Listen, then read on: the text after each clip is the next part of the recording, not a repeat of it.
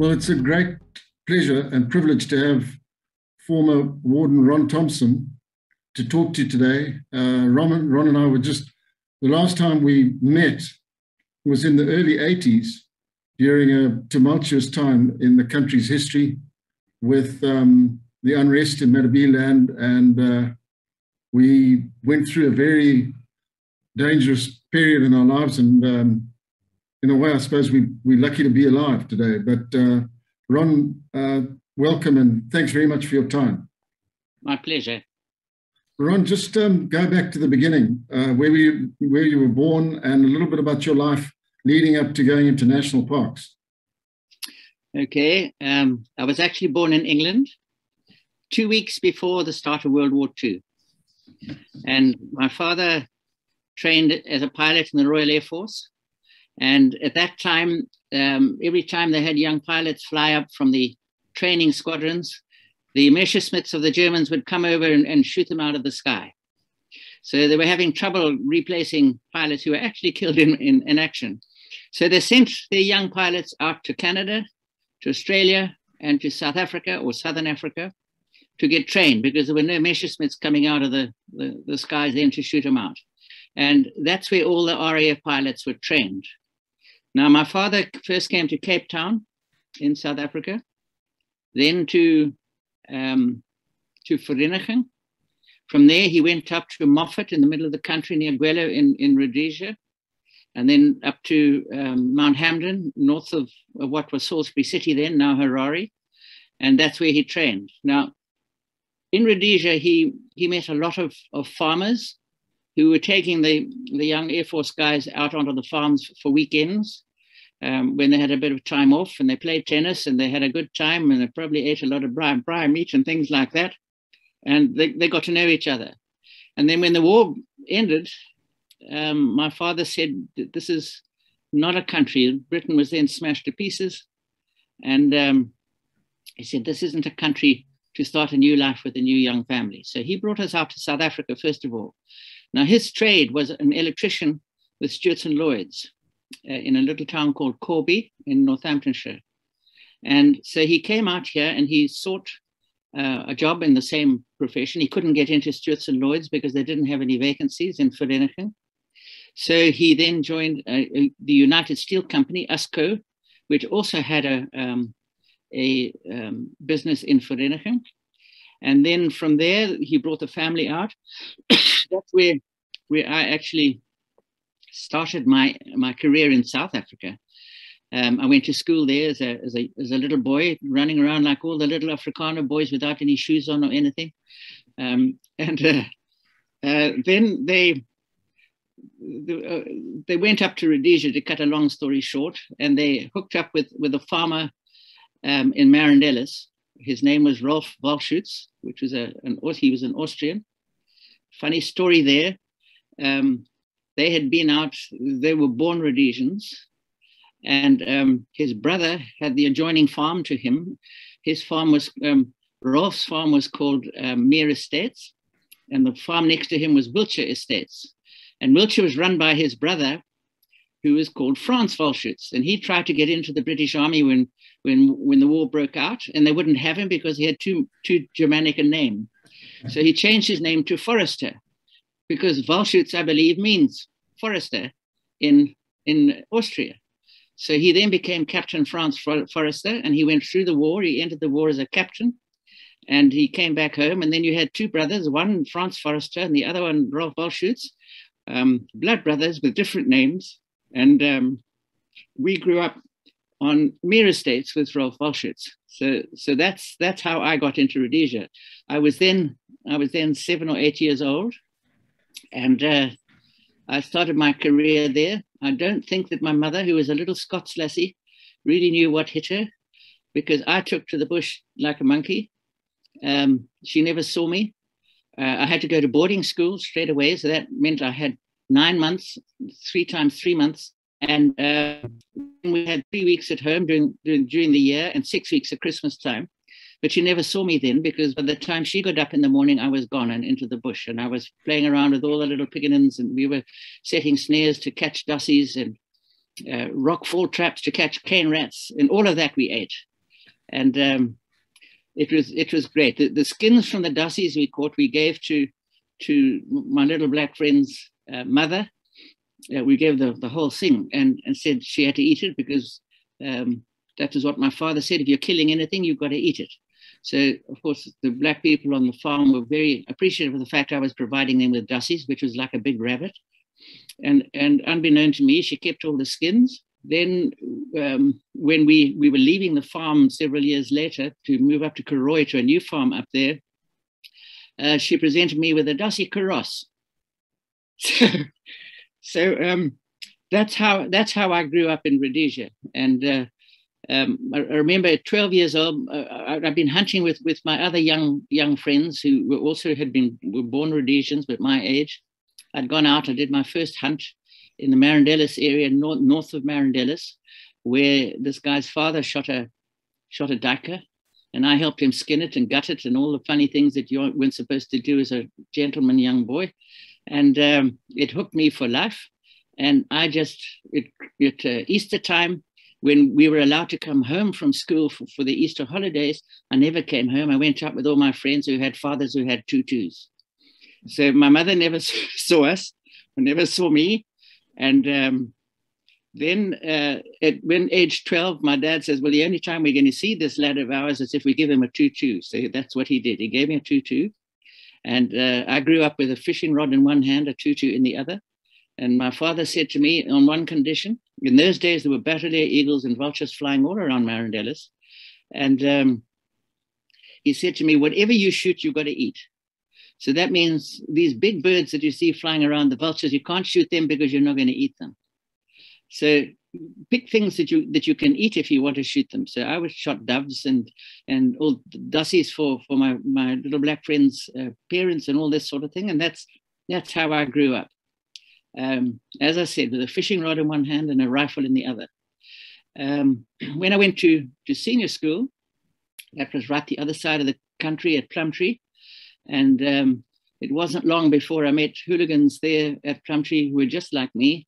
And uh, we started collecting birds' eggs. I, I, eventually ended up with a fantastic egg collection, uh, which is now registered um, with the, the Institute of Zoology in Los Angeles in America. It's one of the biggest egg collections that came out of Africa. Wow. So it's in a good good home now. Mm-hmm. And um, anyway, we it ended up with me taking my rifles to school, my other friends taking their rifles or shotguns to school. And on, a, on weekends, we were allowed to go out on what we called an exit. That meant on a Sunday after breakfast, we could get on our bicycles, which we called grids then. We were able to take our bicycles to boarding school. And a grid was a bicycle without mudguards. And um, so we took our grids and we went all over the country collecting birds' eggs, fishing, did a lot of fishing in the dams there for tilapia, bream, and, and also hunting. And um, I know that in my last year at Plumtree, which was 1956, um, between Easter and Rhodes and Founders, my friends and I shot six kudu bulls, and we took all the meat back to the hostel. At night, we went out, we brought the meat in as close as we could. We, we, we cut the usable meat off the carcass and we gave what was left of the carcass to the local villagers who had helped us find the kudu on the weekend. So if we wanted to go and shoot another kudu, we went out there and they had already eaten half the kudu that we'd shot the previous weekend.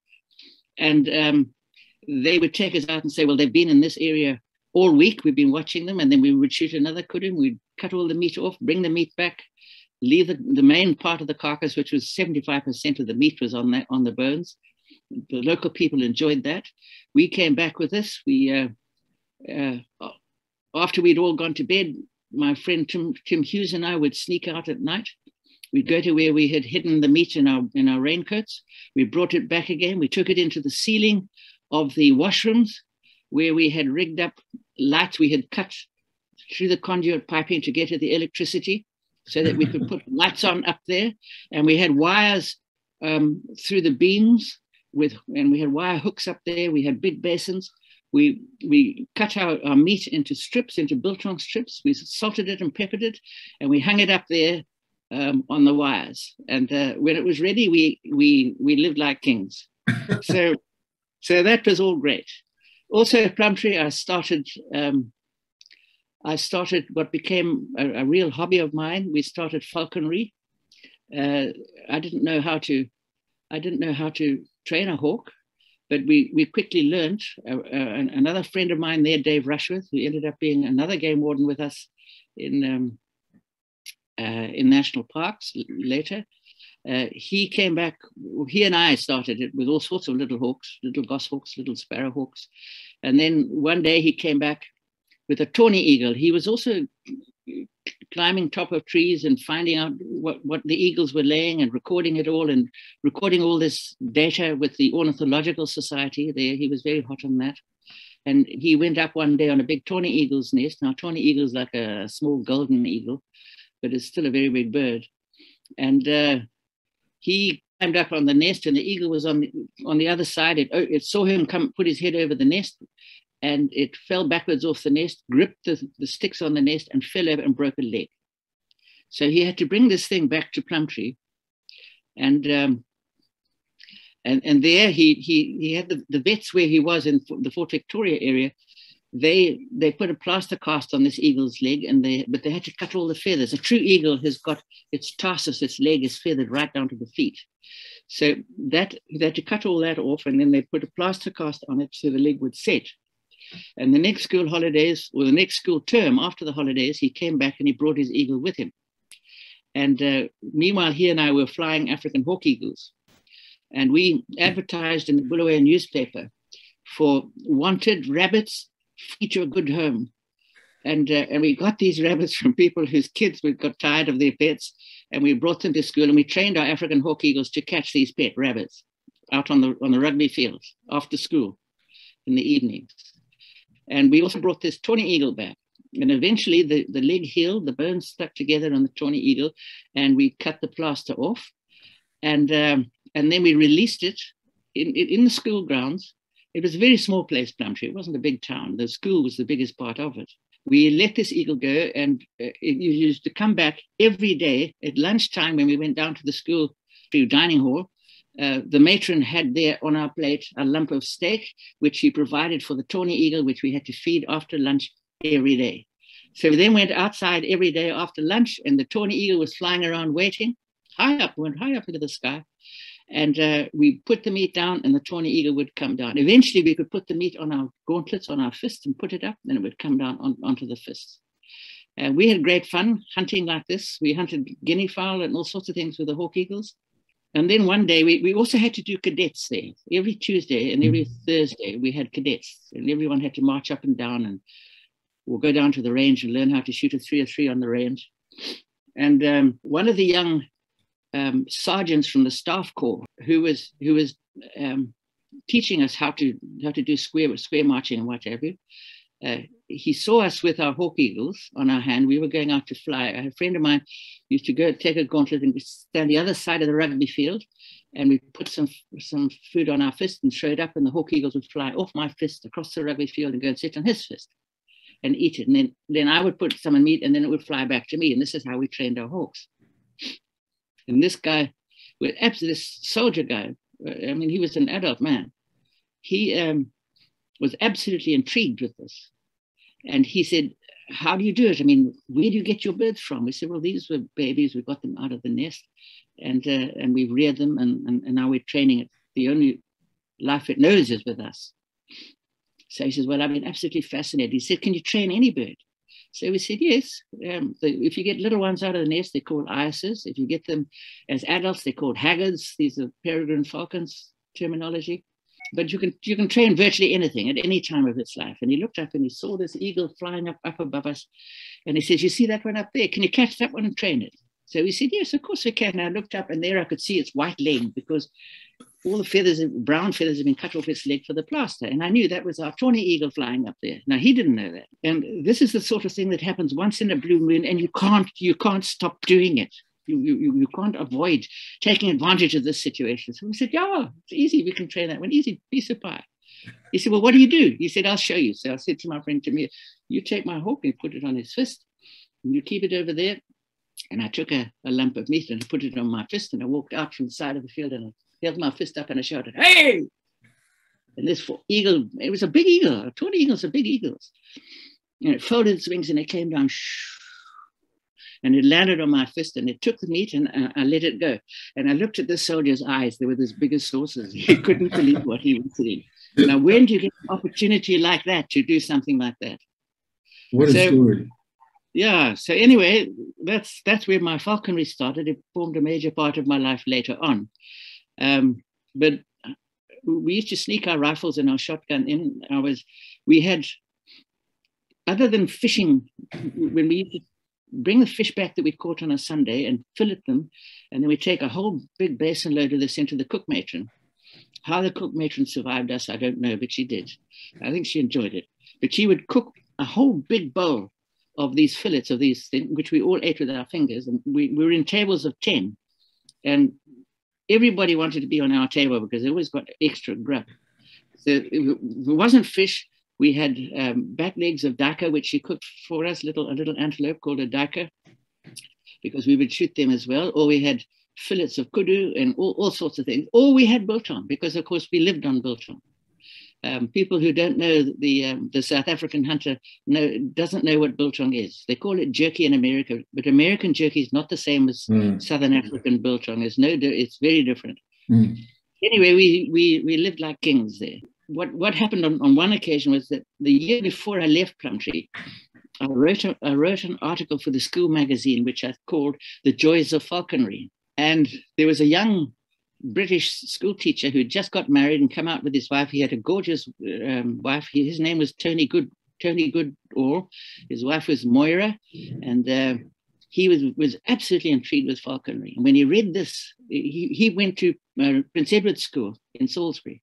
When he saw this thing in the magazine, he he arranged it. He found out that I was going to be at Plumtree for another year, and he thought he wanted to learn how to fly falcons or how to fly falconry birds. Um, so he arranged a transfer from Prince Edward to Plumtree for the next beginning of the next year, so that I could teach him how to do falconry.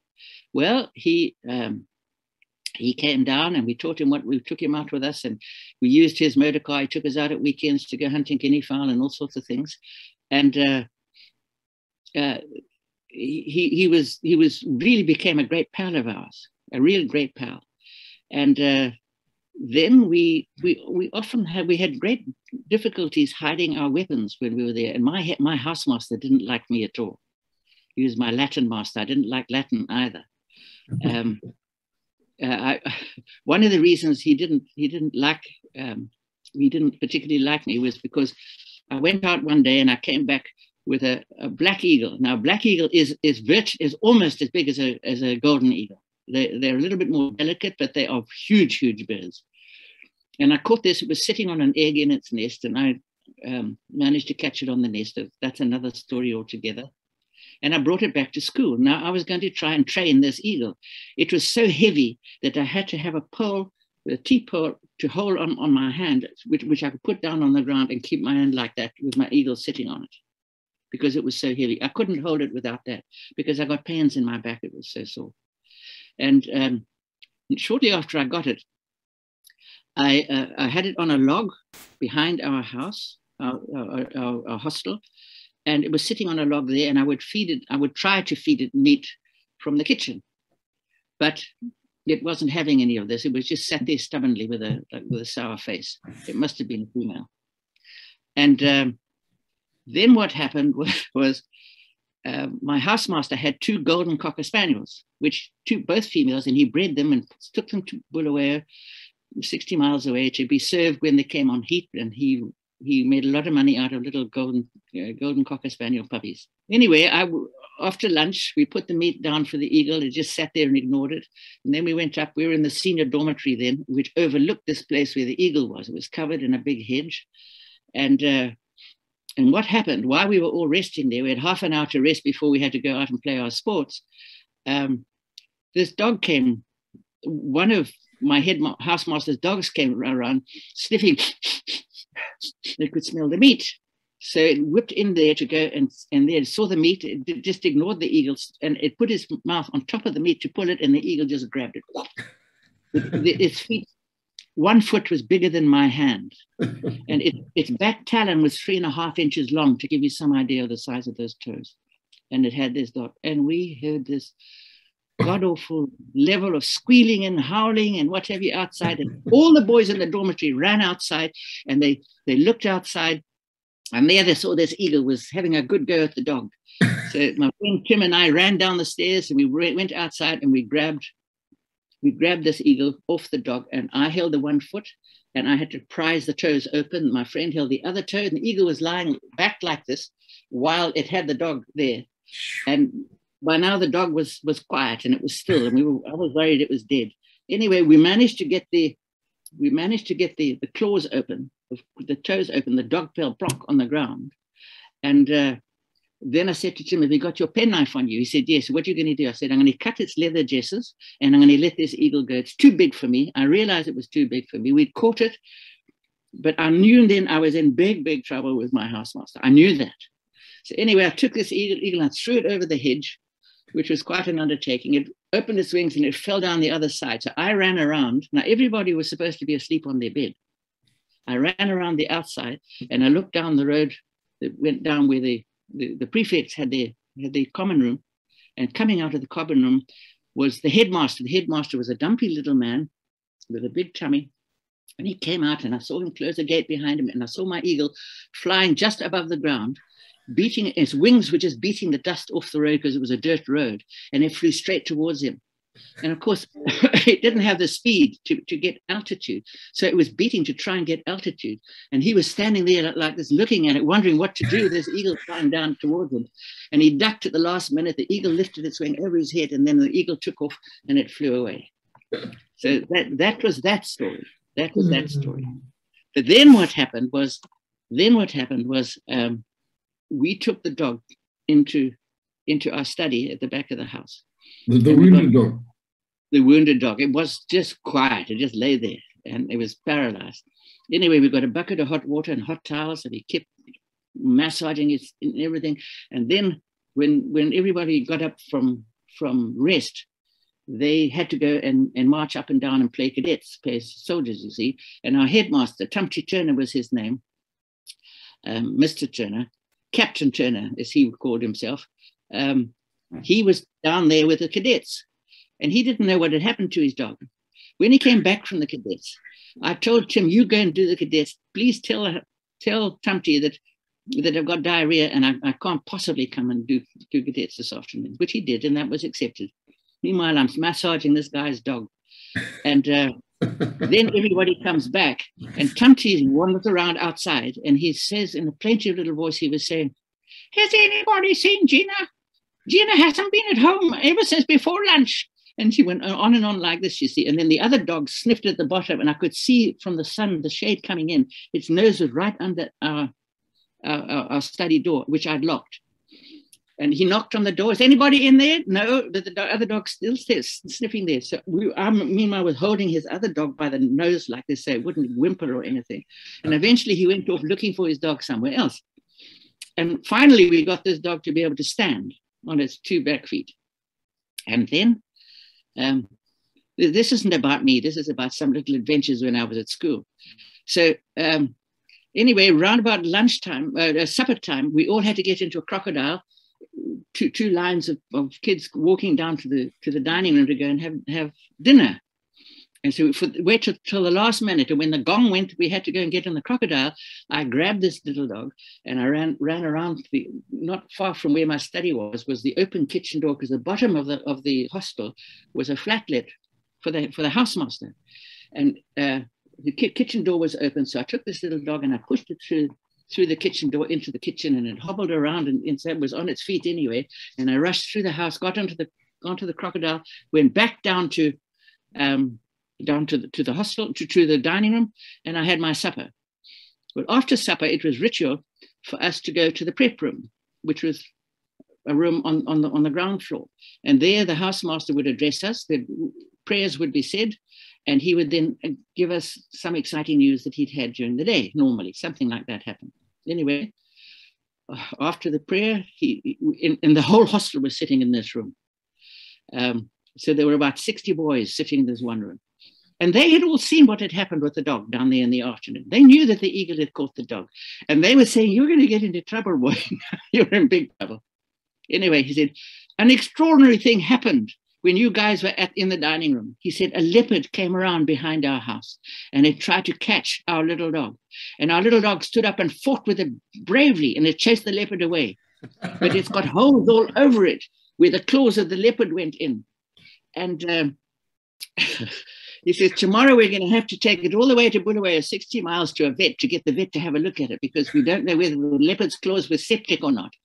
So anyway, all the boys were dumbstruck listening to this because they knew what had happened. And I looked at my friend Tim and I said, Big fire, boom, we're home and dry. Because after that story, he will never ever be able to, he'll never accept the truth after that. So those those are my sort of escapades that I had at school. Fascinating. Uh, I, had a wonderful school, absolute wonderful schooling. It was it, Plumtree was 60 miles out of town. Yeah. Out in the bush, it was the exact right place for me to be. Ron, lots of lots of great uh, Rhodesians came from that school, I must say. Uh, yes, amazing reservoir of talent and um, exceptional people. So, after after school, what then? After school, um, that was in in 1956 was my last year at school, and um, we had to then do, do a, a, military commitment. We could either do six months in the army or join the police force, um, which I think had a, a, commitment for three years, um, or, or join the Air Force. And because of my dad's link with the Air Force, I decided to join the Air Force. So I joined the Air Force and, and became a, um, a trainee pilot. And uh, until I tried to fly an airplane underground and discovered that they weren't designed to do that. so I was invalided out of the Air Force, but quickly recovered from that. And um, and then I started my adventures. I tried I tried farming as, a, an assistant tobacco farmer um, after I left school. It didn't fit my my personality. So, but then a, a friend of mine called Mike Reynolds had discovered a copper claims on the Angwa River about um, about 100 miles north of, through the bushes uh, from Karoi. And we walked down there. There were no roads. We walked down there and uh, with uh, with 20 um, black guys with big packs on their heads, like the good old trails of uh, colonial Africa. We walked down to the Angwa. We then uh, the, the country was very steep and we cut a, a, a, um, a, platform on, on the side of the hill overlooking the river where we built uh, built our camp. There was another one for the black people. The porters then became our, our employees down there, and we were then going to open up this, this, this copper mine, which incidentally had been mined by, um, by what the Rhodesians call the ancients. These are the people that they say built the Zimbabwe ruins and did all the mm-hmm. 2,000 square miles of terracing in the Nyanga Mountains, which is not true. It's a lot more exciting than that, but that's another story. And uh, we opened up the copper mine, and it was my job to, to feed the, everybody in camp. There was an old man there, Mike Reynolds' father-in-law called Zook Nesbitt, who was a had been a colonel in the, in the previous war. And um, he and I were the only two white people there, were miles from nowhere but I had to feed everybody. So I took a, a, an old 303 SM, SMLE rifle with a had a tube in the barrel down chambered down to the 22 Hornet, and every week I shot bushbuck for the uh, for for the camp. Or we, because I was blasting a road out there, we blasted the road from the main road down there, which is a distance of, I don't know, about 54 miles, I think it was. Uh, I blasted all the road, and I was then only what um, I was about 18. I, I, didn't have a blasting license, but but I did the blasting anyway. Zook told me what to do, so I did it. And we had guys with hammers and chisel knocking the holes in the rock that we wanted to blast away. And uh, so then we we took we got the road out, and we, we, blasted these big river pools there to get fish at the bottom. When we when the bushbuck became too sly, and we didn't get our bushbuck, we had to get feed on something. So we blasted the rivers with dynamite, which is a terrible thing to do one or two pools. That was, we didn't do the whole river, but then we went down. We had to go into the water. Most of the fish were at the bottom of, of the pool. Um, and I said to all the black guys with me, come down with me and let's get all these big ones. All the big one, big fish are at the bottom of the pool. And you could see them at the bottom. After all the mud had been washed downstream. It, the water was very clear. And they said, no ways, we're not coming in the water. We're not mad like you Makiwas, like you white men are. There's a crocodile lives in this pool. We've seen him. We're not going in there. And I said, what crocodile? I said, I shot a crocodile here, which I had done the previous week. I said, that was your crocodile, but there's no more in there, but the fish are here. So I said, no, we're not stupid. We're not going in there. So I went in with a sack and a rope with rocks in the bottom of the sack to take us down to the pool. We picked up all, they're all lying upside down with their bellies facing and their gills moving. We picked them up and filled up the bag. We yanked on the string. They pulled it up. They chucked it in again. I went down and kept going. I eventually came to a place where this crocodile, there was a crocodile then. It was lying, it was about a nine footer. It was lying on the bottom of the pool and it was lying doggo. It had been shattered by the blasting as well. Thank goodness for that. Um, because the next thing I knew was I saw this croc get up in front of me because the water was clear enough. I got smacked across the ribs with its tail and it shot off to the far end of the pool. And you know, I ended up being the first person in 2,000 years to have got up and run across the top of water. And I tell you, I don't know how I got to the edge of that bank, but there was nothing stopping me. My feet were going pata kata kata on top of the water and I was out of it. So we had all sorts of fun ideas like that or uh, adventures like that. And then, and then, how did you find your way to national parks, Ron? Well, the United UK um, Atomic Energy Authority were opening up beryllium mines in the country because they needed crucibles to put radioactive material for their um, um, nuclear energy plants. And beryllium gives off, if you put stainless steel or something like that in, it either gives a negative or a positive feed off, electrical feed off from it. But when you use beryllium, beryllium just threw off neutrons. So it didn't, they didn't have any, any lead offs to take, any um, electrical buildups. Um, so they, but before they converted everything to, to beryllium, we had to find out how much beryllium there was. And therefore, because I've been doing exactly the same thing with the copper, opening up the copper mine, I had to open up beryllium mines now, old beryllium mines, just to find out how many there were. So I got employed by the UK Atomic Energy Authority, and from there, in in the in the um, in the Motoko district on the east, eastern side, up against the Mozambique border, uh, uh, when I was there, the we employed people to dig trenches so that we do do sampling and things like that. And there, um, over a six month period as a young man of 18, um, I shot um, I shot one leopard on the on the Angua, and I shot another six where we were with the UK Atomic Energy Authority, and all the skins went to my mother for her to show off what a bright son she had. You see, but it, everything everything was wild. It was wild, wild, wild. You could buy it. You could buy an elephant license for two pounds if as long as you shot the elephant in the in the in the tsetse fly corridor areas. And uh, I didn't have two pounds, so I, I, shot an elephant when I was there, 18 years old, um, with a 9.3 um, um, Norma rifle, um, which was my first elephant. It wasn't a very very good hunt, but it, it was a hunt, and I got my elephant.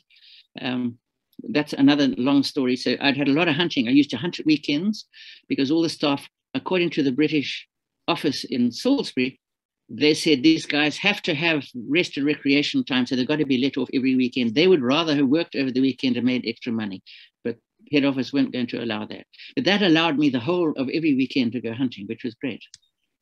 And and then um, I I knew the director of national parks. He had two sons in my house, or the house that I was into, Lloyd House at Plumtree.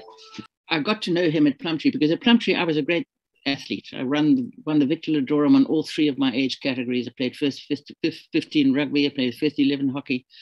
Um, so he knew who I was. When I, when I, as soon as I got the opportunity, I went to see him in Salisbury. He was the director of national parks, and I said, "Listen, Mr. Stewart, I want a job in national parks as a game ranger." He said, "But you've got to be 22 years old." And how old are you? I said, "I'm, I'm, I'm 19, 19 years." He said, "Well, you can't do that now. You're going to have to go and do something else." So I said, no. I said, he said, you're going to have to go and uh, and learn how to build. You're going to have to learn how to hunt. You're going to have to learn how to do all these different things. So I, I remember everything he said. And the big thing that he said was I had to learn how to hunt because I may have to be able to do that in national parks, hunting crop raiding elephants and things like this. So um, every animal I shot, I photographed at length.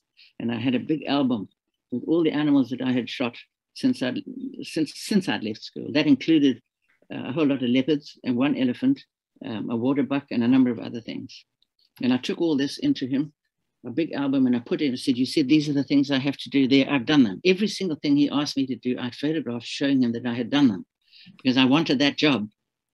And uh, he, he, I gave him enough enough criminal evidence there to put me in jail for six years.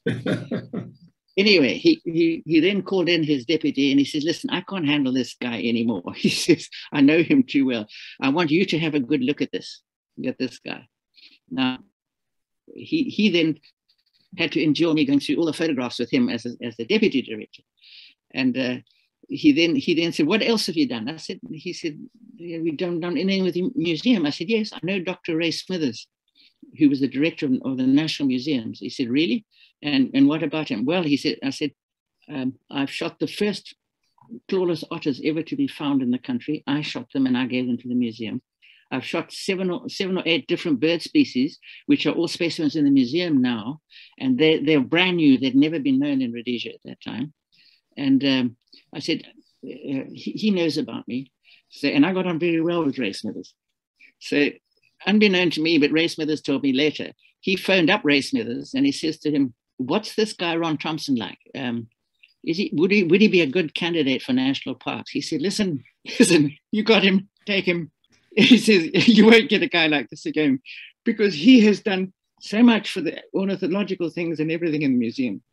So they made a special purse for me it was um, it was I was the first cadet game ranger in national parks, and uh, I I was then I then I had to leave the the job I was in with the UK authority because um, they had decided not to do beryllium after all. So I then went up and I was doing diamond drilling, getting cores of stuff for the um, Nkula Falls hydroelectric scheme in, in um, Nyasaland. And while I was there, I got notification that I've been accepted into national parks. So on my way back, I flew next, who would sit next to me? It was an old DC 3 Dakota aircraft, which was the Central African Airways prime um, aircraft at the time. And who was sitting next to me but Sir Roy Welensky? And he and I, he was the prime minister of the Federation. Yes. So we flew all the way back. We had a wonderful chat together and we developed a friendship as a consequence of this little kid and this big fat man, um, the, the, the, the, most senior politician in the, in, in the Federation. Anyway, I then went down. I was posted to, I wanted Wankie. Uh, I was posted to, to the Matopos. And the first thing we had to do in the Matopos was to start building a, um, a, a paddock or a, uh, how would we, one would call it a, um, a farm inside the Matopos National Park to accept young animals that we were going to get from Wankie, Wankie National Park, which is about 200 miles away. And um, when we had got the perimeter fence done, I was then sent up to go and, and, and pick up the, the animals which the staff in Wankie are supposed to have caught at Ngamo. And they were caught them by Land Rover. In those days, there were no drugs, there was no nets, there was no nothing like that. What we did, we got into stripped down Land Rovers. We raced after the wildebeest, eland, buffalo, giraffe, you name it. We, we caught all these animals with what we called vangstok. We had long sticks, long thin mm. sticks with a rope, a noose on the end of it, and the, the rope coming through to our hands. And we rest after these things out on the open plains. And we either caught it when the back legs were coming up, we put the noose around the back leg or over the head or whatever it was. And then we, then we slowed down, and then we all jumped out and grabbed it and held and put it down. We, we even we were in the middle of the buffalo herds, catching, selecting young buffalo heifers and, and what have you to, to catch, and then we put them into pens at Ngamo. When we had enough, we loaded them into, into the lorries and we took them down to Matopos and released them there.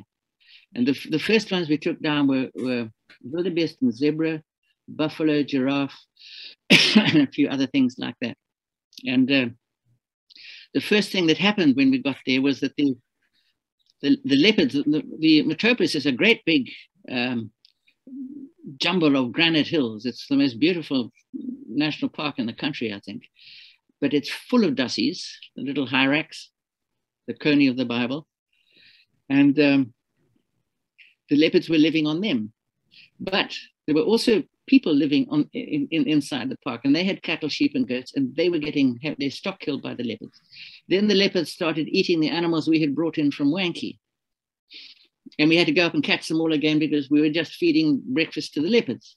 So then a decision was made that we would um, we would shoot all the leopards in the game park area that we had reserved, and uh, and it was also my job to to hunt down the leopards that were killing the cattle uh, and the sheep and the goats of the Matabele people who were also living in, in, in allocated areas of the park. They were all moved out later. The park was reduced in size, and then we were able to separate the, the leopards from everything. But I ended up shooting a whole handful of, of extra leopards. I had experience with leopards.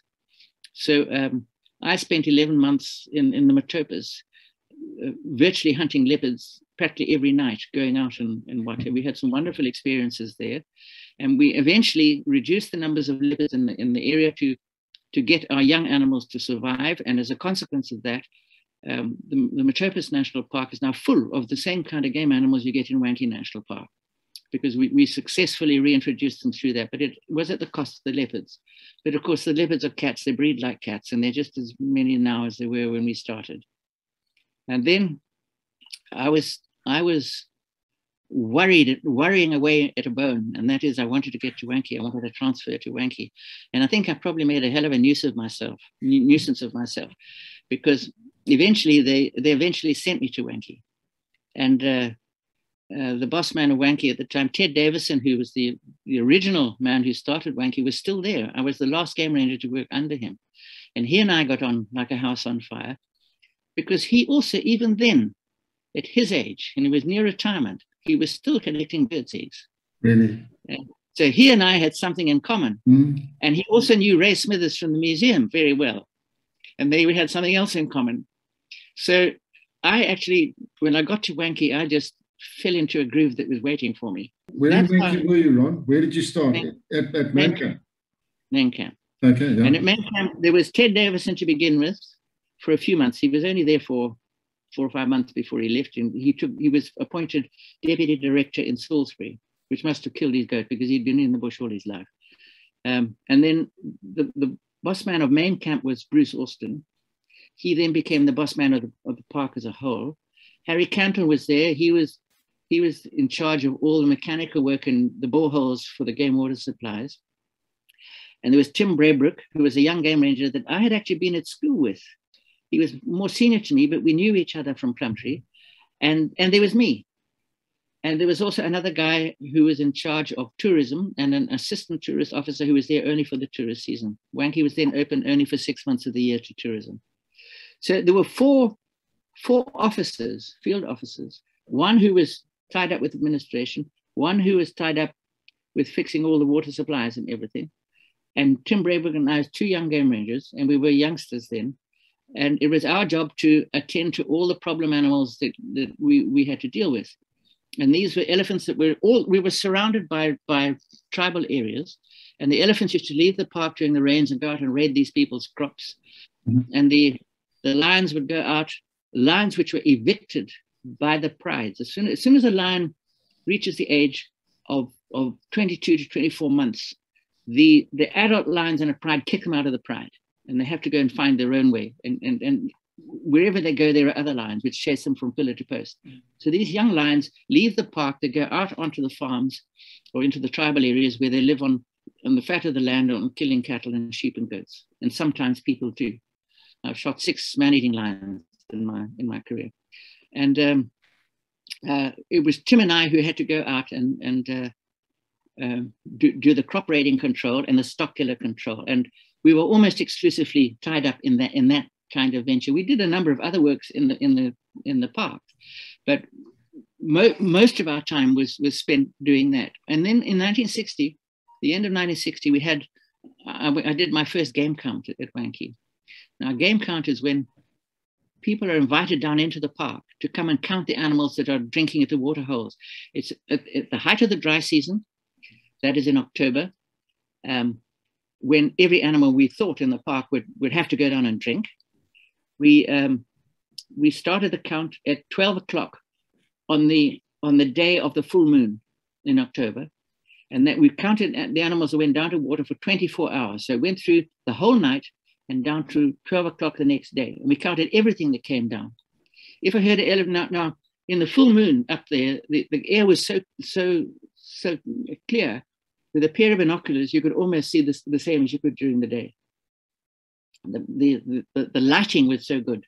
And we counted everything from a jackal upwards. Ron, okay, what so year, what, what year was this roughly, the first game? 60.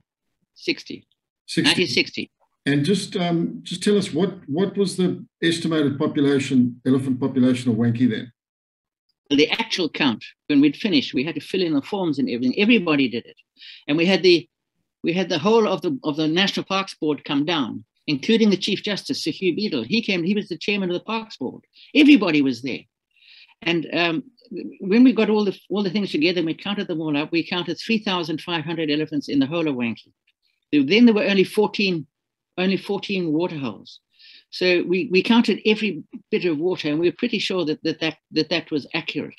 Mm-hmm. Um, and the, the the interesting thing about it is this: is that the the the, the board members were, shrewd. I was still a very young game ranger. I was only 20 years old then, uh, or 21, 21. I just turned I just turned 21, and um, so I I was all ears rather than all mouth. Uh, um, I was invited to a special board meeting they had done, and Sir Hugh Beadle, um, the Chief Justice in the land, who was there, and he and I became great friends too. We had a lot in common. He was a great elephant hunter. Mm-hmm. And um, he said, we, have got a decision to make. We, we've counted these elephants because we want to be able to manage them. Now, these young, these young people here have taken us around and shown us that the elephants are absolutely demolishing the habitats in the park. The mukwa trees, the Pterocarpus angolensis. More, more than, than 90, no, I would say more than 80% of all the mukwa trees in Wankie in those days was lying on its back. The elephants had just pushed them over.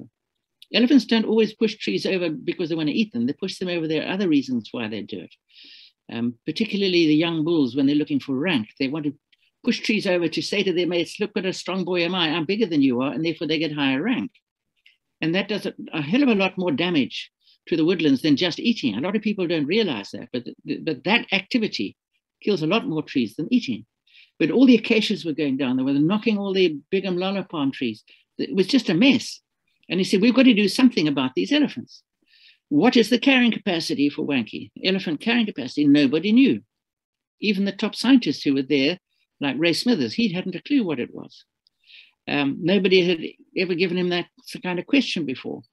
So he says, Well, I'll tell you what I know is that 3,500 uh, 3, elephants is more elephants than Wankie can carry sustainably, because otherwise they wouldn't be knocking all the trees down.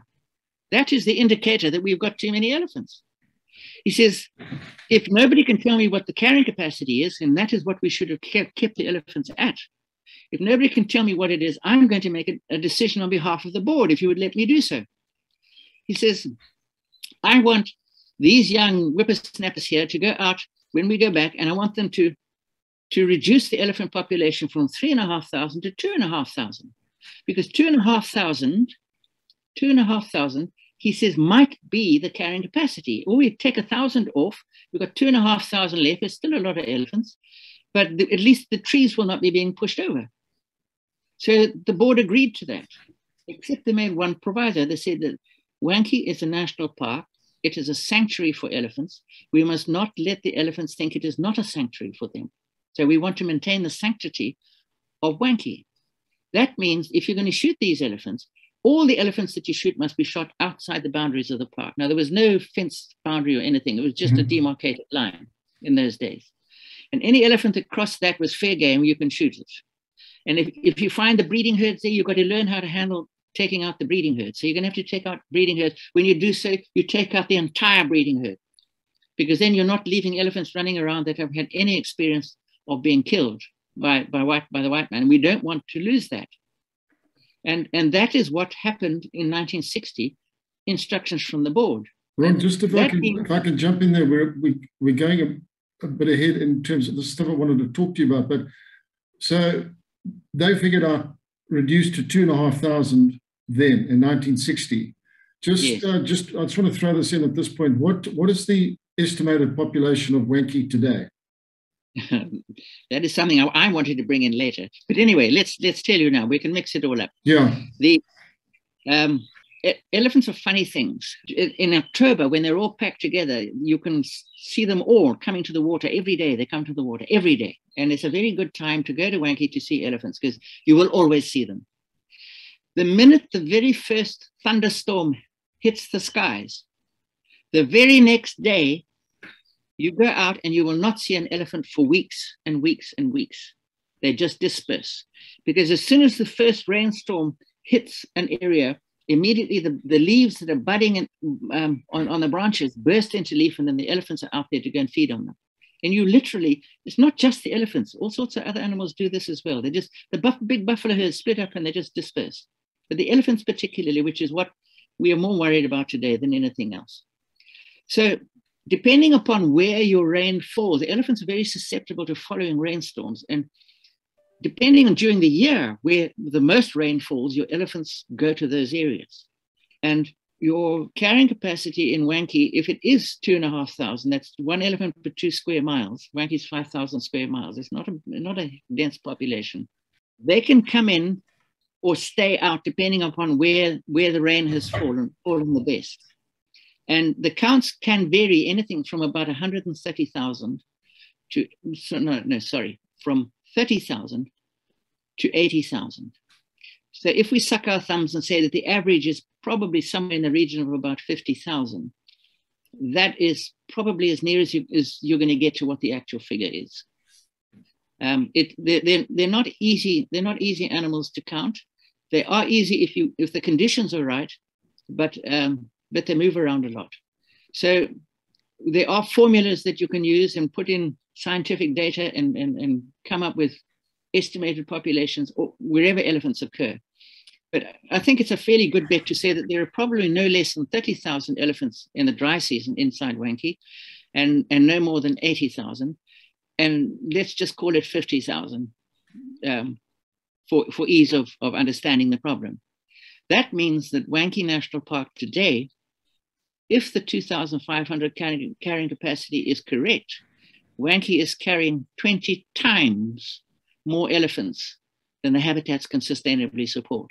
And that is the biggest problem that we have with elephants all over southern Africa. It's not just Wankie, they're all over southern Africa. Botswana, Botswana elephant population is a mega population. It includes the, the elephants of, of Wankie, it includes southern Zambia, it includes southern southeastern Angola and northeastern Namibia mm-hmm. and the whole of Botswana and Ngami land, and then right the way down to the Limpopo River.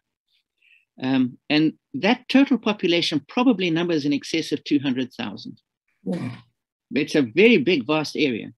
I have just last month, last, last October, I have just done a survey and filmed um, all the, the habitats in Kruger National Park from the southern point to the northernmost point to see just what impact the elephants are having on the habitats in Kruger. And we wanted to do the same with Wankie and with the Gonarezhou. Rejo. I was in, I've been in charge of both those national parks. Um, but unfortunately, COVID would not allow us to get through the borders. But we did have full, um, uh, a full survey opportunity from Chobe River in Botswana, right the way through Botswana down to the Moremi, and we, we, we didn't count elephants. We weren't, we weren't there to count elephants. What we were doing, we were recording the effect of the elephants on their habitat. That is, in other words, the damage that the elephants were doing to their habitats. And we've got all that on film. Right at this moment, we are putting together the first of two films on this. One will be on Kruger National Park, the other one will be in, in Botswana. So the damage, the damage is enormous, um, absolutely enormous. The and, and what is happening in Kruger at the same time, um, since 1960, Kruger National Park, which we've got better figures for for Kruger than we have for Wankie, uh, since 1960 in Kruger, your elephants have reduced the top canopy trees in Kruger National Park by more than 95%. That means every single tree that is still standing in Kruger National Park today, in 1960, which is what is what's that, 30 years ago? 40. 40, 40. 60, 60 years ago. Years ago. 60 years ago. There were 20 other trees standing next to it. And uh, at the moment, uh, I have worked out accurately the carrying capacity for Kruger National Park, and it is it, it comes out at about three and a half thousand elephants per, per park as a whole. That is, again, roughly, funnily enough, roughly one elephant per two, two square miles, which is what we had for Wankie. So I think a lot of the a lot of the national parks in southern Africa, when they in the past, they have only made guesstimates because it's very difficult to to determine what is a carrying capacity for elephant. How how do you go about doing it? The only way you can really do it is to go into the park and to, and to account for every single tree, every single young treeling that is coming up, and then see how, how they develop over 60 years in the face of, of a certain elephant pressure. And that's almost impossible to do. So we were lucky in Kruger to have a foolproof way of doing it, which I can discuss with you later if you like. Um, and it worked out at uh, three and a half thousand, between three and a half thousand and four thousand elephants, plus or minus um, 500. And at the moment, the, the, the best scientific um, account of the numbers of elephants in Kruger National Park today is, is 30, uh, 30,000, 34,000. And that was done by uh, a previous large mammal scientist called uh, Solly Joubert, and he was also a previous director of Kruger National Park. He estimates that the, the the, numbers of elephants in Kruger cannot be any less than three than than thirty four thousand. My estimate would have put it up to nearly forty thousand. But, but that is just working on figures. He's actually worked, worked on a lot of other scientific stuff, and he's a he's a very good scientist. Ron, uh, so that will tell it's all a problem. Wherever elephants occur in southern Africa, we've got a problem. Ron, uh, what I wanted to say at the outset, really, I don't know how many people alive today have had as much experience and gained as much knowledge of uh, what's actually happening in wildlife, in, certainly in southern Africa. So I consider you uh, one of the real experts on what is happening and, and the issue. Are your views and your, your calculations reaching the ears of any people in authority who actually understand how big this problem is, and um, and are there any ideas about how to address it? Well, the answer to your question, quite simply, is no, and and the reason is it, it's quite complex. The reason is, first of all, um, I don't have a scintillating professor's degree or anything like that, so so I'm just a, a Johnny come lately sort of thing. But I have applied myself, and I do have a university edu- ed- education in ecology. But most most of what my knowledge is in, in, is is, is actually come from practical implications. Yeah, from the field. Yeah, in the field. A lot of scientists don't like the idea of reducing elephants in Kruger National Park, for example, from 30 odd thousand, although the scientists don't say there's 30,000. Again, that's another complex issue. They don't like the idea of reducing the numbers of elephants in Kruger, which in, Kruger is known for its elephants, um, down to three or 4,000 and, and when they heard that I was, when the Kruger scientists heard that I was going in to do this film, they said, What the hell is Ron Thomson doing making a film in Kruger National Park? What does he want to do? So I've, got a good friend within the staff of Kruger, and he said to them, Why don't you just let him do what he's do what, what he wants to do and, and hear what he's got to say, and then maybe you'll learn something. He said, I don't know what he's doing or how he's going to do it. He says, but let him do it. And at least after that, we, will, we maybe we will know a bit more about it. Yeah. It was it was on that basis, and I'm very thankful for that that I, that they tolerated me, and and my good friend who is in there, um, um, Richard Sowry, is a senior ranger. He's got 20 years experience in Kruger. Uh, he took us to places where other people wouldn't have gone, and I wasn't. Other than the fact that Richard was with us for a small while, I wouldn't have got to half the places in Kruger that I did get to, and I did get to film. Um, and of course, all that will come out in the film that we're making on it. He was telling me that there's a rumor.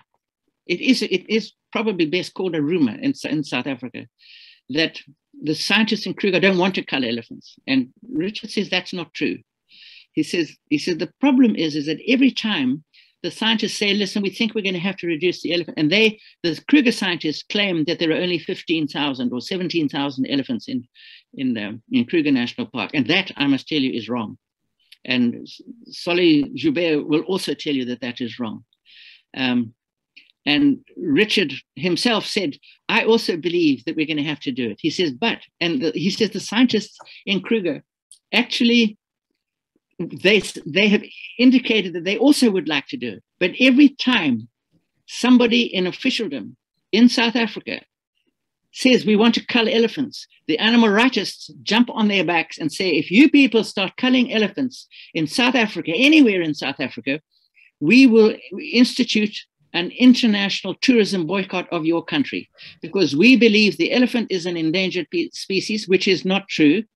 In fact, there's no such thing as an endangered species. If you want to ask me that question later, do so.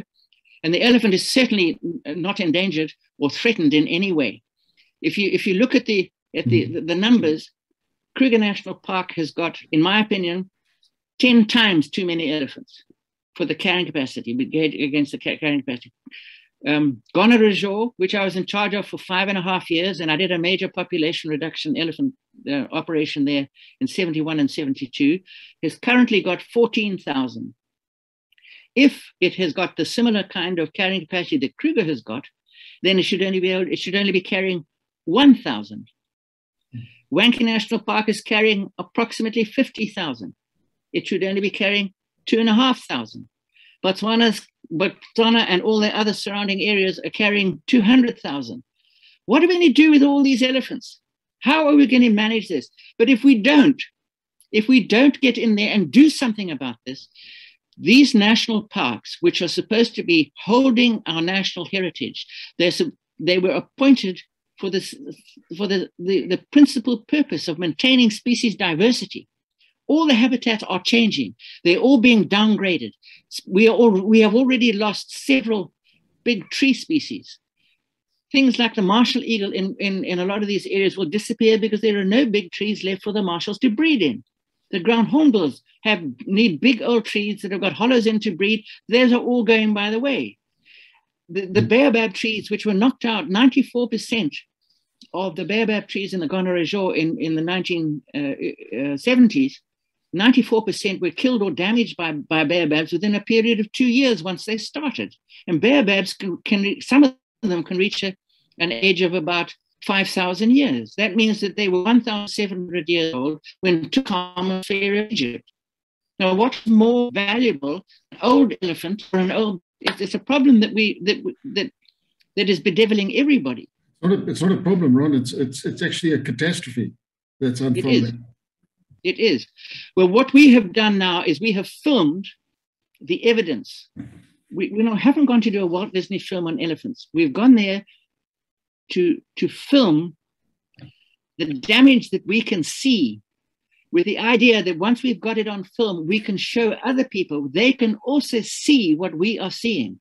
That is not just mm-hmm. a destruction of the of the indigenous woodland, total destruction of the indigenous woodland, mm-hmm. but but the changeover from a different kind of vegetation that has already happened in, in the Chobe area of Botswana, that is the total disappearance of a riverine forest. And it changed from one thing to another between 1965 and 1964. And we are picking up in, in Kruger the intermediate habitat change that happened has already happened in Botswana, where that change of habitat has happened, and it's a change for the worst. And it's all the big the big the big acacia trees have, have been these are the main targets. But a lot of other very big trees too. There are a number that haven't been so badly affected because they're unpalatable to the elephant so the elephant doesn't doesn't doesn't destroy it but if you can imagine kruger national park what it was like in 1960 and what it's like today with 95% less trees big trees in the habitat it is tragic but tourists go in there. South African visitors go in this in every year. They go and see this, and because they go every year, they, they, they don't see the difference because the difference is, is constant but gradual. Yes.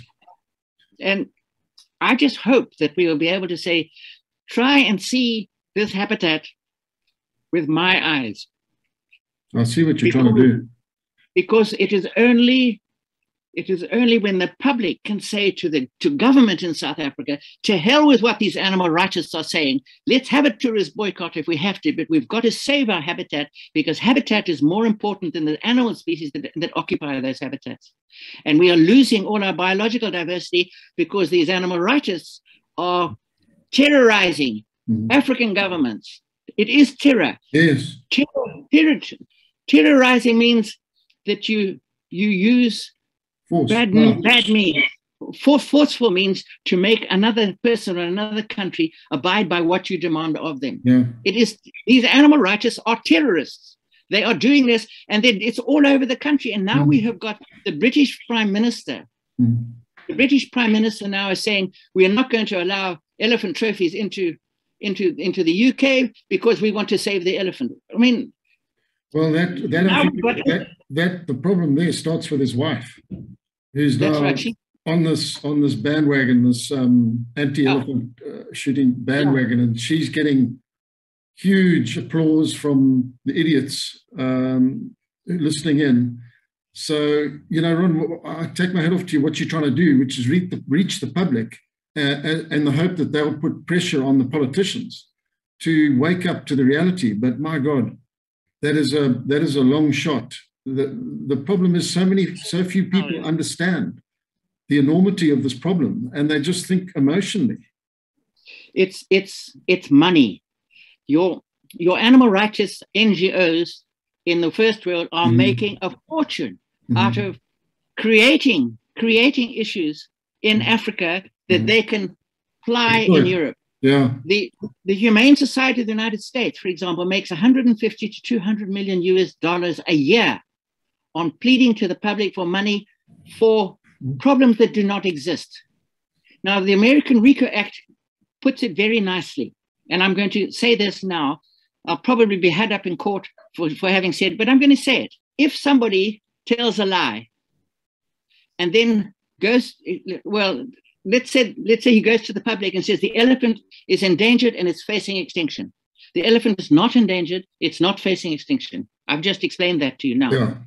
They say that. They say that to their publics in the Western world. Now they then go go to their publics and say, "Please donate money to us, and we will make sure the elephant does not become extinct." If you make money like that out of a lie, that is technically common fraud anywhere yeah. in the world. Yeah. It's common fraud. Mm. According to the, Amer- the American RICO Act, which is it's, it's the Racketeering Influenced Criminal Activities Organization Act, they say that if, if someone tells a lie and makes money out of it, that is fraud.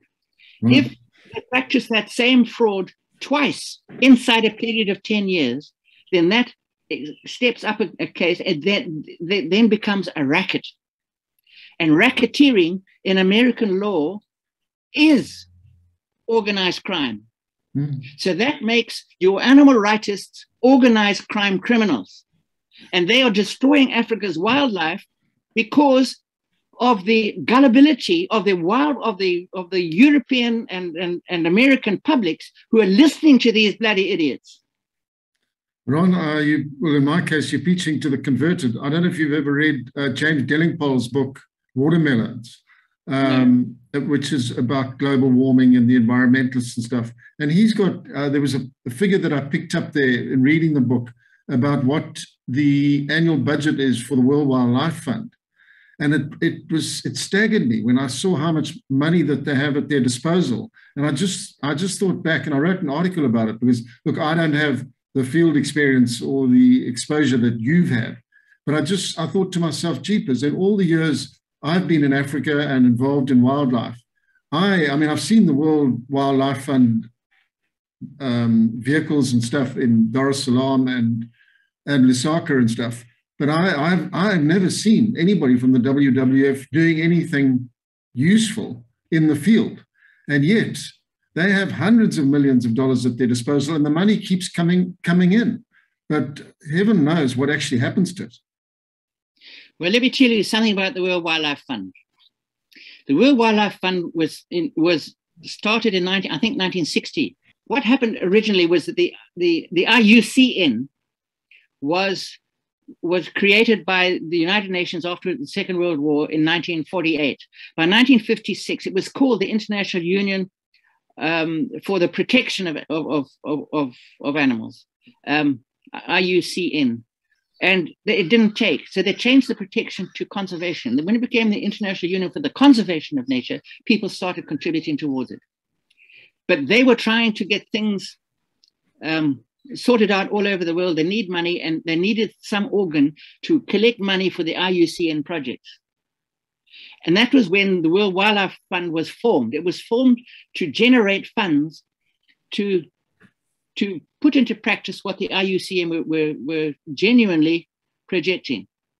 But now the World Wildlife Fund has become animal rightists. It has changed mm. totally over. Mm. It is no longer the, the, the the wonderful mm-hmm. body that it used to be, then I used to laud it. I don't laud it anymore. I condemn it. I condemn the World Wildlife Fund totally and utterly because they are animal rights, because I have got no time at all for the animal rights philosophy, which is to abolish all animal uses by man. That includes dogs and cats and chickens and horses, riding horses and, and, and hunting and everything. So they want to destroy everything. We must all we must all not eat meat. We must all and farmers must not produce meat for man to eat. He must eat cabbages. Well, I'm not of that ilk, and I don't I don't go along with it. And I'm trying to get the whole public throughout the world to understand how stupid it is for us to listen to these people. Now mm. they are destroying Africa because the people in the rest of the world are listening to what they say yeah. and believe them. And that is what we have to fight. It's, it's uh, as I say, you're preaching to the converted. You know, uh, just we're straying a little bit, but I, uh, where I run into trouble with the environmentalists and the, the global warming uh, protagonists is just when you look at Africa, it's not only elephants and wildlife that's doing environmental damage, but it's also human overpopulation. And the, the, the environmental degradation in Africa is probably the worst of any continent in, in the world right now through population densities increasing and more and more pressure on the habitat. And yet you never hear these environmentalists, all these global warmists, saying anything about curbing population growth because that that would be politically incorrect, I suppose. So no, nobody says a word about it.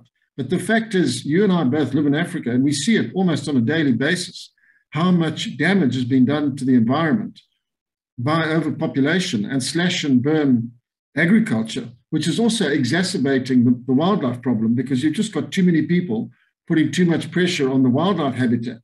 But there's no there's no attempt being made to get people to breed more responsibly either. Well, let me be totally politically incorrect. I love being politically incorrect when I know when I believe I'm right. At the moment, there are approximately a million people living in Africa south of the Sahara Desert. By the end of this century, there are going to be 4 billion people. 4 billion people. Where are we going to put them all?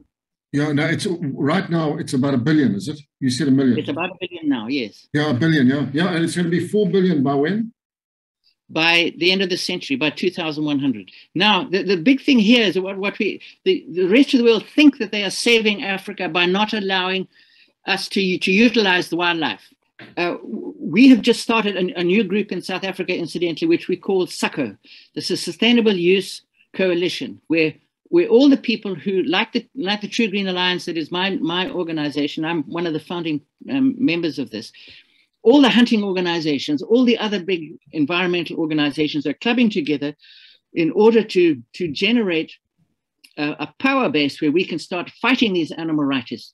We end up, however, with having having to fight our own minister who is listening to them rather than to us. Mm.